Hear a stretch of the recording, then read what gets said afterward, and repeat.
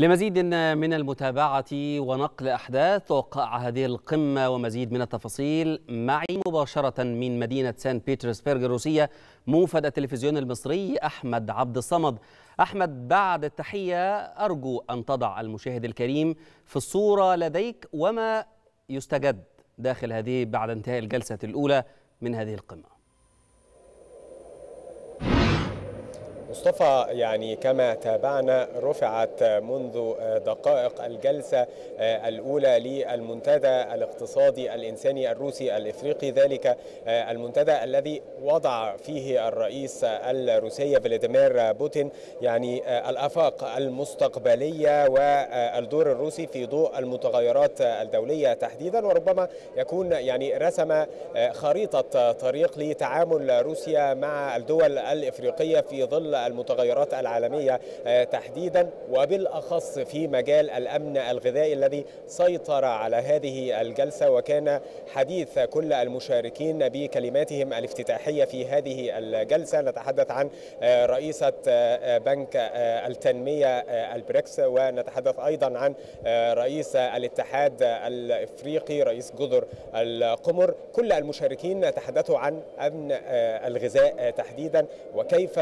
ألقت الأزمة الروسية الأوكرانية أو العقوبات غير المشروعة كما سماها الرئيس الروسي فلاديمير بوتين في كلمته كيف أثرت هذه العقوبات الروسية غير المشروعة على توريد الحبوب وبالأخص القمح على الدول الإفريقية أكثر الدول التي انعكست عليها هذه الأزمة؟ ولكن الرئيس الروسي فلاديمير بوتين تعهد بتوريد القمح بالمجان لعدد من الدول الإفريقية التي تعاني من نقص شديد في الأمن الغذائي تحديدا وهنا تحدث عن توريد ل يعني نتحدث عن إثيوبيا السودان والصومال وجزر القمر واريتريا وبوركينا فاسو وافريقيا الوسطى. يعني تحدث الرئيس عن توريد ما يقدر بحوالي من 25 إلى 50% بالمجان من احتياجات هذه الدول تحديدا وتحدث أيضا عن سبب خروج روسيا من اتفاقية الحبوب. ذلك الخروج الذي كان الكل يتوقع بأنه سوف يكون له صدى ويكون له انعكاس مباشر على الدول الإفريقية تحديدا. ولكنه تحدث بالأرقام والمبررات التي جعلت روسيا تخرج من هذه الاتفاقية لأن هذه الاتفاقية هي اتفاقية كانت يعني يتم من خلالها خروج القمح من الموانئ الأوكرانية ولكن لا يذهب إلى مستحقيه كما قال الرئيس الروسي فلاديمير بوتين وضرب يعني مثالا بالأرقام بأن يعني نحو 32 مليون طن خرجوا من أوكرانيا وتم وصول القمح لكل من إثيوبيا والسودان والصومال ويعني كان هذه الدول تحديدا وصل إليها أقل من مليون طن تحديدا أي ما يقدر بنسبة تقدر بثلاثة بالمئة. من إجمالي يعني المواد الغذائية والحبوب التي خرجت من الموانئ الأوكرانية وأن نحو 70% وصل إلى الغرب ووصل إلى الدول الأكثر نموا والأكثر ارتفاعا في مستوى معيشة المواطنين. وقال بوتين في هذه الكلمة الافتتاحية هذه الكلمة الافتتاحية التي كانت بحضور السيد الرئيس عبد الفتاح السيسي ومشاركة الوفد المصري معه في هذه الجلسة الافتتاحية. قال بوتين بأن الهدف الرئيسي من هذا المنتدى هو تحقيق قدر من الرفاهيه إلى حد ما أو الوصول إلى قدر من يعني تحقيق رفاهية للمواطنين في إفريقيا تحديدا. وتحدث هنا وضرب مثلا أود أن أسألك أحمد عن شيء آخر. تنفيذه على الأراضي نعم. المصرية وبالأخص تسمعني؟ تحدث عن الدور الروسي في المنطقة الصناعية اللوجستية هذه المنطقة التي تقام في منطقة قناة السويس وتحدث عن دور هذه المنطقة وأن هذه المنطقة سوف تكون يعني جاهزة لتوريد ويعني التبادل التبادل التجاري لما سوف ينتج من المصانع فيها خلال هذا العام نعم. هذا العام الحالي نعلم أيضا أن هناك تبادل مصطفى وتبادل خبرات أود أن أسألك أحمد ربما تكون الأرقام شارحة. صداقة قوية وهناك تعاون في ملف الضبعة مصطفى. نعم. الأرقام شارحة وتعبر عن نفسها وتحدث أيضا الرئيس الروسي فلاديمير بوتين عن الأرقام وتحدث عن القارة الإفريقية. القمة روسية إفريقية. إنجاز التعبير أحمد فالقارة الإفريقية هي قارة بكر وغنية بالموارد الطبيعية. هل في الآفاق ربما أو في التوصيات ما يمكن أن يضمد جراح القارة الإفريقية والحفاظ على ثرواتها؟ ربما تحدثت مع الضيوف ربما تحدثت أيضا مع المشاركين من بعض الوفود عن صيغ حقيقية تضمن لقارتنا الإفريقية الحفاظ على مكتسباتها ولكن بصورة عادلة.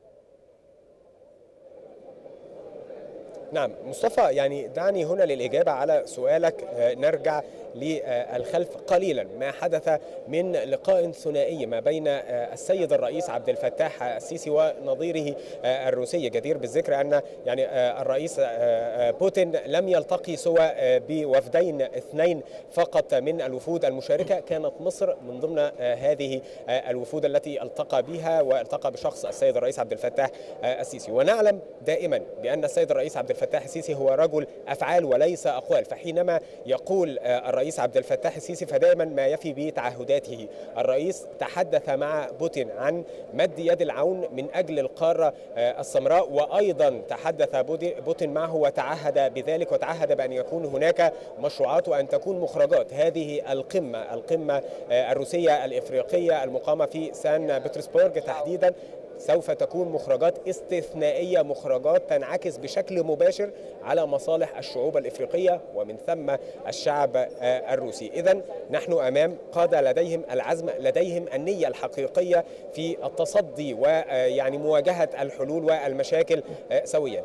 و هو ما تحدث عنه الرئيس الروسي فلاديمير بوتين في كلمته بأنه يعني سوف يتم نقل الخبرات التكنولوجية تحديدا في مجال الأمن الغذائي وتحديدا في مجال تكنولوجيا الزراعة مع دول القارة الإفريقية جميعها لأنه يعلم وروسيا تعلم جيدا بأن هناك أراضي صالحة للزراعة والاستزراع الزراعي أن هناك أيضا موارد بشرية قوية لا ينقص إفريقيا سوى التكنولوجيا و الابتكارات الزراعية لكي تستطيع أن يكون هناك إنتاج زراعي يؤمن احتياجات هذه القارة. فإذا عزم القيادة السياسية المصرية ومن ثم عزم الرئيس الروسي على إنجاح هذه النسخة. هو عزم جاد وسوف يترجم بالتأكيد على مخرجات ربما تكون يعني بارقة الأمل في انفراجة لملف الأمن الزراعي تحديدا أو الأمن الغذائي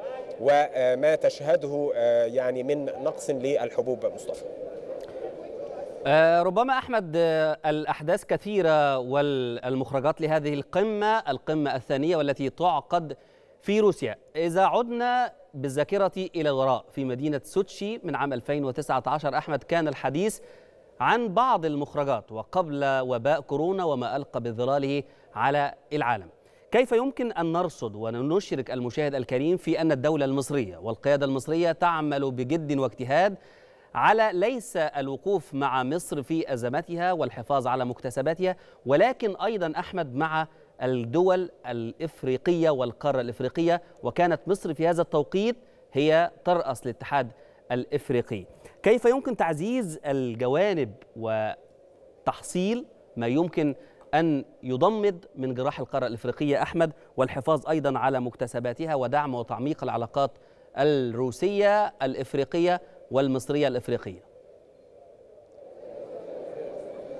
نعم مصطفى يعني الإجابة على هذا التساؤل تكمن في شكر الرئيس فلاديمير بوتين لشخص السيد الرئيس عبد الفتاح السيسي بالأمس في نجاح قمة سوتشي وبالتحديد أيضا انعقاد هذه القمة الروسية الإفريقية لأن قمة سوتشي انطلقت بشراكة ما بين الاتحاد الإفريقي وروسيا وكان السيد الرئيس عبد الفتاح السيسي هو رئيس الاتحاد الإفريقي آنذاك في 2019 وكان كان له كلمة افتتاحية في هذه الكلمة وقالها صراحة بوتين بأن لولا جهود الرئيس عبد الفتاح السيسي لما كان لهذه القمة أن تخرج إلى النور. ونعلم جيدا أن مصر دائما محملة بهموم القارة السمراء ودائما ما تتحدث عنها في المحافل الإفريقية لأن السياسة المصرية الخارجية تجاه دولة أو دول القارة السمراء تغيرت في عهد السيد الرئيس عبد الفتاح السيسي وهو ما برهنه يعني بالفعل أثناء يعني قيادته للاتحاد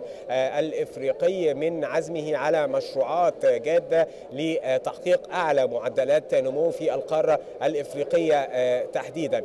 وأيضا يعني ذلك فيما يخص إفريقيا. لكن فيما يخص مصر فنعلم جيدا أن علاقات الصداقة قوية ما بين القاهرة وموسكو وأيضا علاقات يعني الصداقة قوية ما بين شخص السيد الرئيس عبد الفتاح السيسي ونظيره الروسي. منذ أن كان السيد الرئيس عبد الفتاح السيسي وزيرا للدفاع وحتى يعني خرجت موسكو وساندت الشعب المصري في ثورته ضد يعني الهوية الحفاظ على الهوية المصرية في ثورة الثلاثين من يونيو تحديدا. وكيف دعمتها روسيا دعما كاملا بانحيازها إلى الشعب المصري. ومن ثم إقامة عدد من المشروعات نتحدث عن مشروع منطقة مشروع مولد الضبعة النووية في الساحل الشمالي.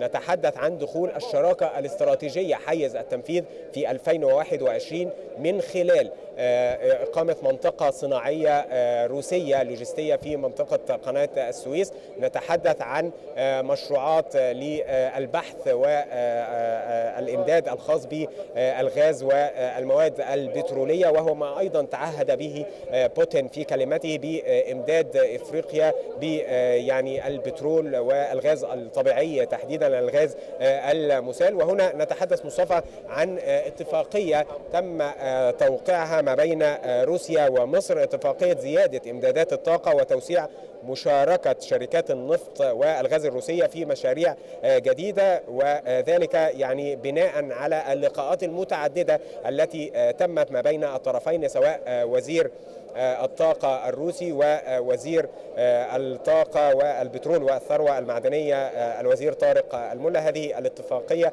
التي بمجرد أن يتم التوقيع على بنودها سوف تكون أيضا بمثابة يعني انفراجة جديدة وتعاون جديد ما بين روسيا ومصر. في ملف الطاقة تحديدا مصطفى.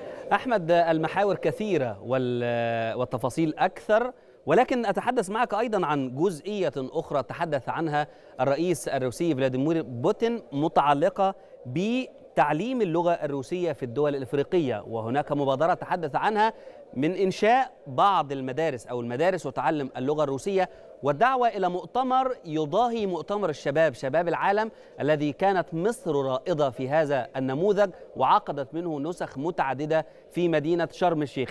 روسيا دعت لمؤتمر شباب عالمي يفوق عشرين ألف من المتعاملين من الشباب ومن المهمومين والمحملين بقضايا أوطانهم. كيف يمكن أحمد يعني تفسير هذه الدعوة من خلال قراءتك وأنت متواجد في هذا الحدث وفي داخله وأيضا مع القادة والرؤساء الأفارقة في روسيا؟ نعم. مصطفى يعني هذه النسخة أو هذا المنتدى هو منتدى اقتصادي إنساني وربما الطابع الإنساني هو الذي يهيمن عليه نتيجة ما فرضته التحديات و يعني الخريطة الجيوسياسية تحديدا من متغيرات على الساحة الدولية. نتحدث عن أزمات عديدة لم تكن مدرجة على طاولة النقاش في قمة سوتشي 2019 ولكن فرضتها الظروف الحالية كي تكون مدرجة. نتحدث عن ملف الرعاية الصحية نتحدث عن دور المرأة دور الشباب دور الإعلام أيضا والتبادل ما بين الإعلام والمراكز الثقافية والشباب لما لها من مزيج يعني خاص تحديدا في تقوية العلاقات الروسية الإفريقية والروسية المصرية. إذا تحدثنا عن العلاقات الروسية المصرية مصطفى فنعلم جيدا أن مراكز الثقافة المتواجدة في مصر مراكز الثقافة الروسية تحديدا تعمل في مصر ولديها باع كبير جدا. وتعلم الكثيرين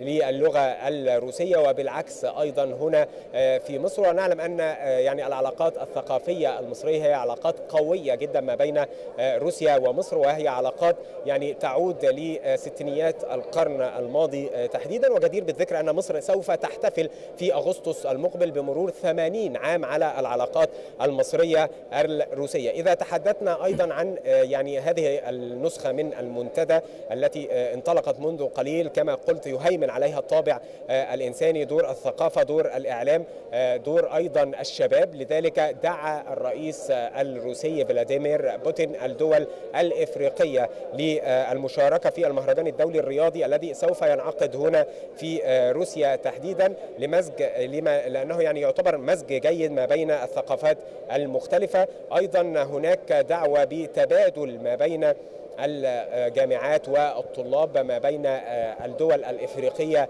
وروسيا وربما سوف يكون توقيع يعني بروتوكول منذ أو بعد قليل تحديدا من مسؤول جامعة الجنوب الفيدرالية في مصر مع شراكة لجامعه قناة السويس تحديدا بتبادل الثقافات والمنح الدراسية التي سوف تقدم لطلاب كلا الجانبين.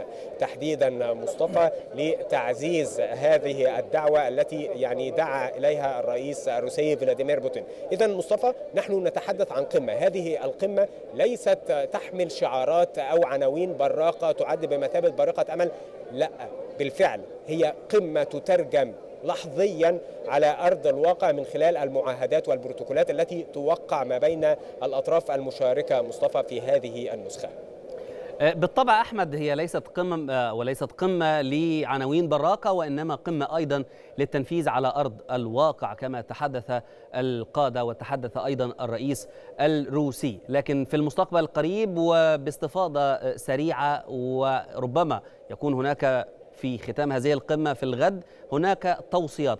هل من الممكن أن يتم توقع التوصيات التي ستخرج في الغد للقارة الإفريقية سواء في التعاون في المجالات الاقتصادية أو المجالات الإعلامية أو في المجالات لاستكشاف البترول والطاقة والزراعة والتنمية والتطور وما إلى ذلك؟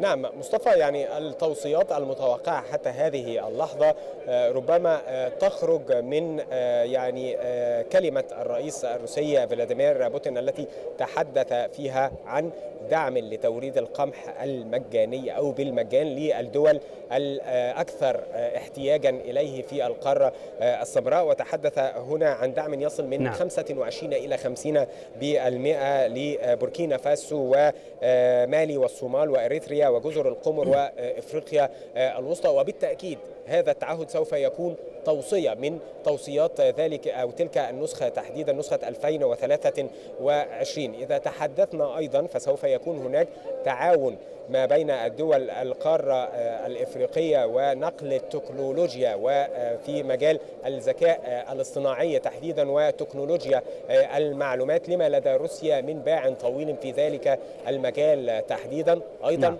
ربما سوف تحمل التوصيات الكثير من ما يخص ملف الأمن الغذائي لأنه الذي يهيمن على المشهد السياسي نعم. الدولي بطبيعة الحال وفقا للمتغيرات الجيوسياسية، لكن مصطفى هذا هو ما حدث حتى هذه اللحظة في الجلسة الافتتاحية، تلك الجلسة الافتتاحية التي سبقها قمة نعم يعني أحمد. كانت ما بين الرئيس الروسي فلاديمير بوتين وأيضا رؤساء يعني الاتحاد المدير أو يعني الاتحاد الجلسة لرؤساء الاتحاد الإفريقي رئيس جزر القمر وموسى فقي رئيس المفوضية للاتحاد الإفريقي هذه الجلسة التي تحدث فيها موسى فقي رئيس الاتحاد المفوضيه للاتحاد الإفريقي تحدث عن المعاناة التي تعانيها دول القارة الإفريقية تجاه أزمة الحبوب المعاناة أيضا التي تعانيها دول القارة نعم أحمد يعني بالفعل. وذكر وأخص نعم. لأنه لابد أن يكون هناك تعاون في مجال مكافحة الإرهاب.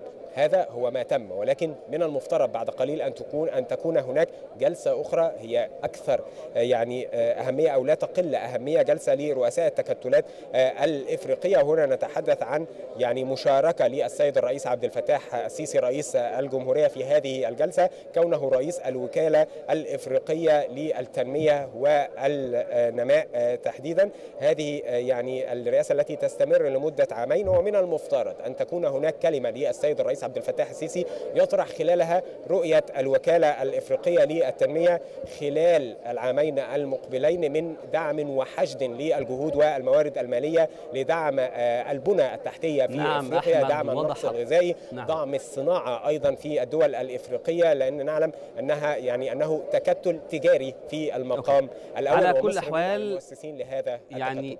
وضحت الصورة وضحت الصورة زميلي موفد التلفزيون المصري أحمد عبد الصمد من مدينة سان بيترسبرغ. سنتابع معك على مدار الساعة ما يستجد وبالطبع سنتابع كلمة السيد الرئيس عبد الفتاح السيسي في الجلسة القادمة. شكرا جزيلا.